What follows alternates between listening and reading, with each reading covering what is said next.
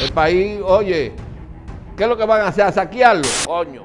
Eso no es robo, no, eso no es corrupción. ¡Fuego, ladronazo! Creo que es un cobarde, asqueroso.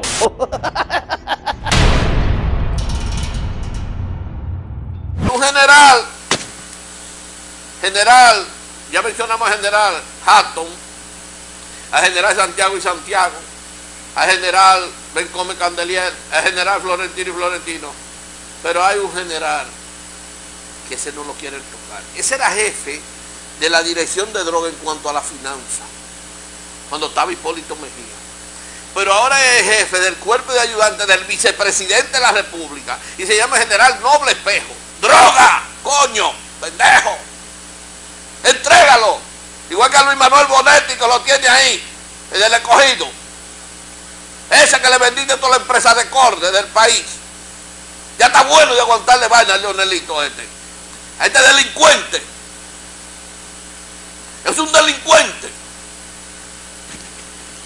¿Hasta dónde vamos a llegar? Y Bicho Castillo dando tumbo ahí, que, que, que hay demasiados generales, que, que hay que hablar claro.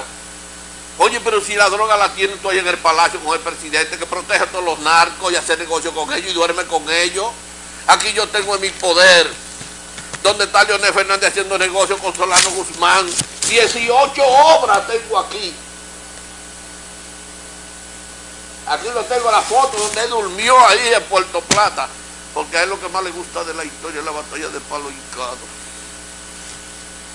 Ese que viene para acá, ese que nos trajo los muertos abriéndonos la compuerta, ese que nos acabó con la zona franca, eso que envenenan los niños como la leche del desayuno escolar, desde los tiempos de Alejandrina Germán y de la lija Cardona de Melo, que en Cotuí envenenaron 81 niños.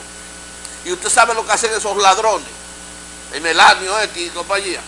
Después que lo intoxican y lo envenenan, siguen presentando la misma cantidad de ración.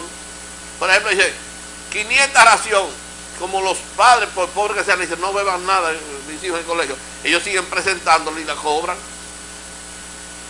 Como hicieron, como está haciendo Leonel con la carretera que ya está hecha, como el puente de la lava que está hecho, como la remodelación del estadio Cibao que está hecha ya. ¿Qué es lo que le van a hacer ahora? ¿A ponerle un bombillo? ¿Qué es lo que van a hacer?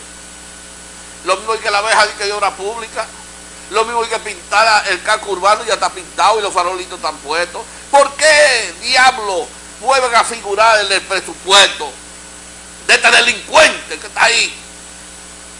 De este que ampara el narcotráfico, que anda con ellos, que está en sociedad con ellos. Esa suprema asquerosa. Mire esta sentencia, la tengo aquí en mi poder, para quien la quiera ver, cualquier abogado que quiera verla. Después que se sientan una jurisprudencia, vienen y la tuercen de manera de favorecer este delincuente. Este país se jodió.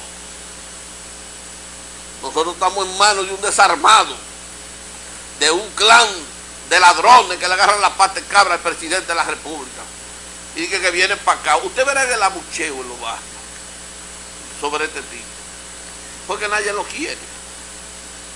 Pero no es que como él dice, que, que PRD, es el pueblo que está harto de ti ya. Estamos hartos de ti.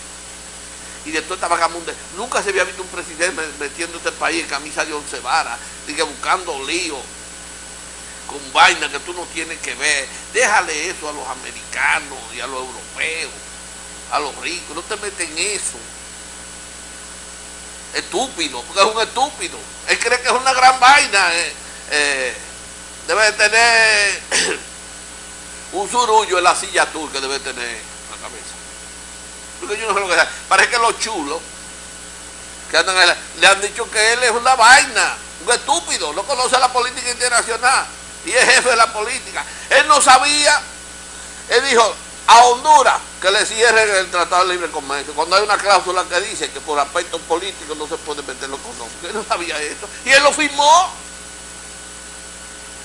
Porque lo que está es coger, hacer orgía para allá, para Punta Cana y, andar con todo estos narcos y quedando en la torre antimar, Picasso y vaina, y hablando en buste, y depredando el país, empeñando el país. Ahora nos vamos a joder. ¿eh?